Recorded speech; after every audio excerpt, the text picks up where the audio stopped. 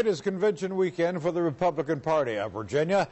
Party leaders from across the state are in Richmond to pick their candidates for the fall elections. Ryan Nobles back from the Richmond Coliseum with more on this evening's kickoff. Well, Gene, Republicans are talking about a comeback, and they believe that comeback starts right here in Virginia.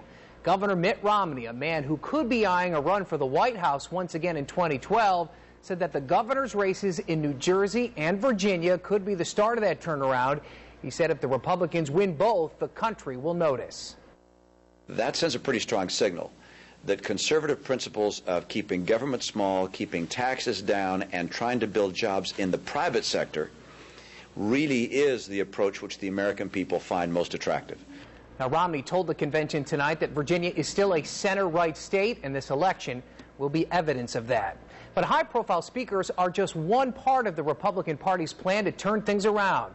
They're making a special effort to reach out to web savvy voters through social media and the internet. It's a market currently owned by the Democrats. Lindsay Fisher is an active 21 year old Republican on every social networking website you can think of. She believes her party needs to be as well. Facebook, Twitter, it's really easy for young people my age to keep up with it that way. And the grand old party is getting this new message. They are active on the net this week and have even set up a special bloggers row that allows internet reporters a front row seat to the convention action.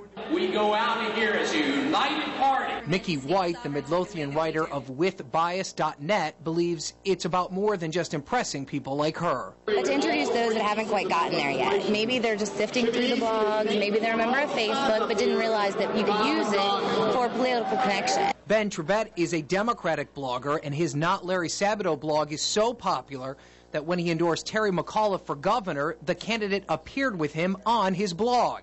He believes Republicans won't see that same success until their candidates buy into the idea. Our elected officials are participating in the medium, and so it attracts more people in to participate when that's happening. Republicans are hopeful that turnaround begins this week. And speaking of blogs, don't forget that you can read special political coverage on my political blog, which is decisionvirginia.com. Now, tomorrow marks a big day for state Republicans. They will choose between two candidates for lieutenant governor and one of three candidates for attorney general. They will also hear from talk show host Sean Hannity, and they'll formally nominate Bob McDonnell as their candidate for the fall election. The convention reconvenes tomorrow at 10 a.m., and we'll have complete coverage tomorrow at 6. Ryan Nobles, NBC 12 News.